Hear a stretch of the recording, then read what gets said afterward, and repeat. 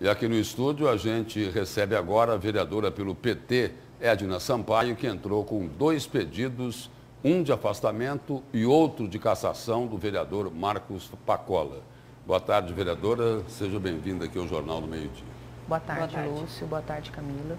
Vereadora, eh, de um lado nós temos aí os aliados, os vereadores aliados do prefeito Emanuel Pinheiro, querendo caçar o vereador Marcos Pacola, não pelo crime em si, pelo assassinato, né? mas muito mais pelas denúncias de corrupção, de roubalheira que ele faz contra a atual gestão. Do outro lado, nós temos os vereadores de oposição, grupo eh, do qual faz parte o vereador Marcos Facola e que passam a impressão assim de que estão tentando eh, aliviar a barra para eh, o colega oposicionista. A Câmara é uma casa política, então é, fatalmente ali ocorre um julgamento político. E como encontrar este ponto de equilíbrio? Lúcio, primeiro eu não sei se dessa forma que está se comportando os grupos dentro da casa. Né? Eu estou lá e estou observando que há um silenciamento da absoluta maioria. Né? É, um silenciamento que não se deu, por exemplo, na reunião de segunda-feira, quando estávamos só os vereadores dentro de uma reunião fechada. Hoje, não sei se vocês observarem, a todo Eles mundo... disseram o que nessa reunião? Não, eu, que ali estava mais à vontade, as pessoas puderam se manifestar mais, independente de ser base ou não base, mais em solidariedade ao Pacola. Acho que o primeiro impacto que todos tiveram é de uma tragédia, porque a gente não tinha até então as cenas que foram passadas agora, né, do momento exato do tiro. Então eu acho que é uma situação que nunca aconteceu na Câmara. As pessoas estão. E aí é preciso lembrar que essa tragédia se abateu também e principalmente na família do agente Sim, que foi morto. exatamente. Então foi exatamente isso. Então o que eu estou querendo dizer é que eu acho que há uma apreensão generalizada na Câmara, inclusive os vereadores têm conversado bastante com o Pacola, tanto faz da base ou da oposição. Acho que há um, um sentimento um pouco de, de, solidariedade geral ali, né? É, é espírito eu, de corpo? Isso? Eu acho que existe um espírito de corpo ali.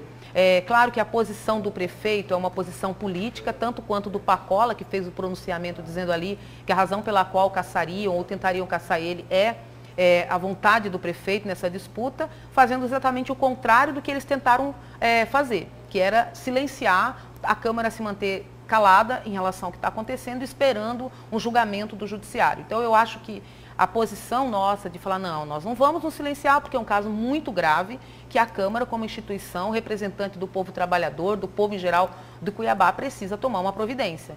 Então, eu não sei se o jogo que está sendo jogado ali, Lúcio, é esse entre base e oposição em relação ao Pacola. Eu acho que, porque é, são pessoas que têm uma, uma convivência ali, né? Então, assim, essa coisa muito estruturada entre base e oposição, ela existe mas nesse caso eu acho que tem outras questões envolvidas ali, que é uma questão da posição que eu divido. Ele tem uma boa relação com todos ali dentro da casa, mesmo sendo oposição ao prefeito, é um vereador que as pessoas ali respeitam, né?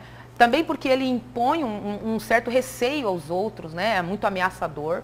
Né? Isso também cria uma, uma, certa, um certo constrangimento aos outros, no meu olhar. Uhum. Né? Então tem tudo isso. Vereadora, aí diante desse embate de posicionamentos, né, aliados, oposicionistas, um def defendendo né, o vereador, outros, é, como o Lúcio trouxe aqui, querendo vê-lo afastado em relação às denúncias é, perpetradas contra o executivo é, municipal, como está o seu posicionamento atualmente? Porque a senhora foi a única que pediu o afastamento, né? E a cassação também já havia um outro pedido de cassação anteriormente da sua parte é, para o vereador Pacola.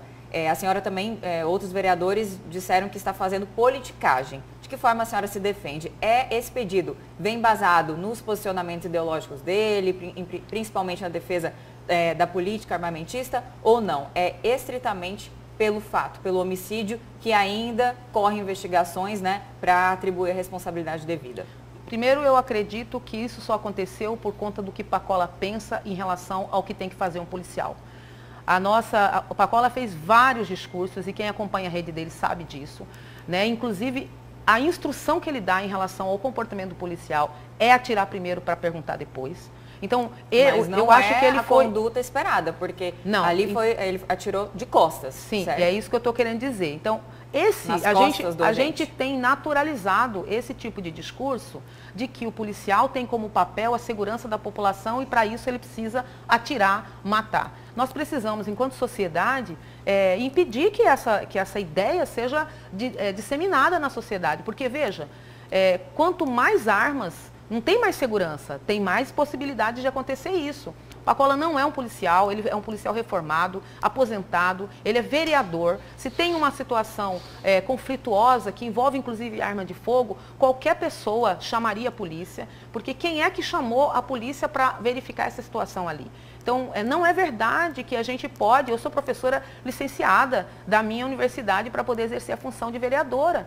Então não existe dispositivo legal que faça com que um servidor público, seja ele qual for, licenciado, continue a agir como se não tivesse licenciado. Vereadora. Então, é... para uma ação como essa, teria que ser chamada a polícia. E, e ele não está na função de policial. Vereadora. Nem o carro dele é viatura. Vereador, as imagens que a gente acompanhou aqui agora há pouco, que já foram fartamente é, divulgadas, é, mostram ali que os tiros teriam sido pelas costas. E aí, num pronunciamento lá na Câmara de Cuiabá, o vereador Marcos Pacola disse que pelo menos parte da sociedade é hipócrita. A sociedade está é, lançando mão da hipocrisia nesse caso? na opinião da senhora, porque o que houve foi um assassinato, não foi? Sim. Ou não foi isso?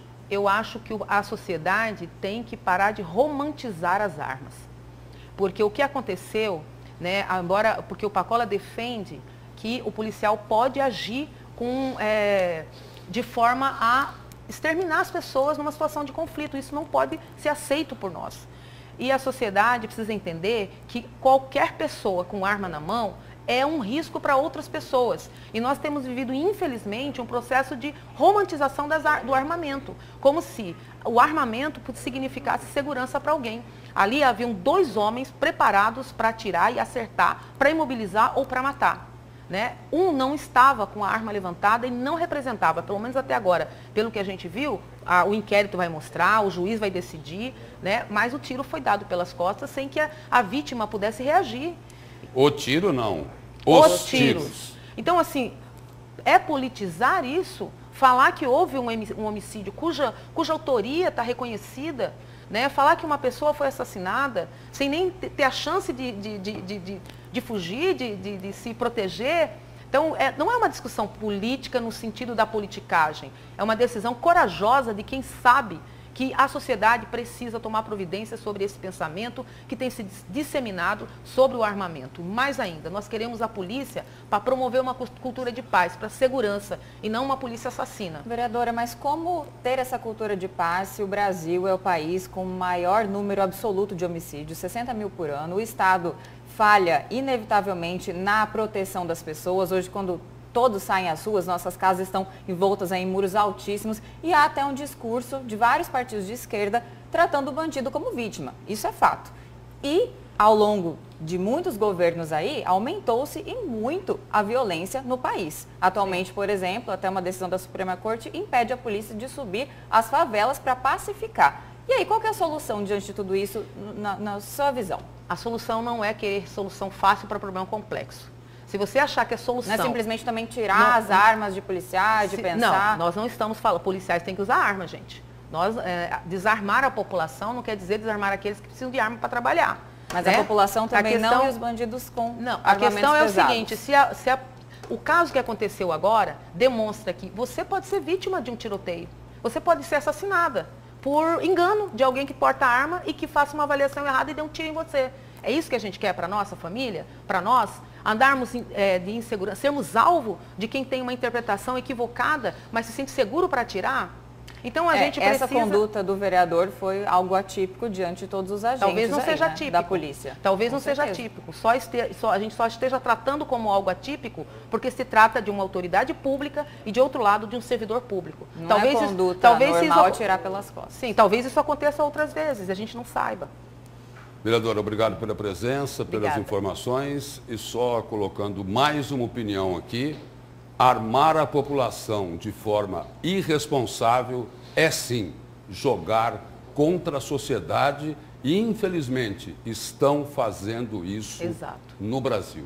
Isso não ajuda, isso prejudica a população, porque tem, quem tem a função de proteger o cidadão é a segurança pública, porque o cidadão, o homem de bem, ele não está preparado para defender a vida e o patrimônio dele. Muito obrigado pela presença. Obrigado. E ao mesmo tempo aqui. o Estado também falha muito nesse papel, né? Mas Como os dados o julgamento sobre viver e morrer não pode ser de quem porta arma na rua.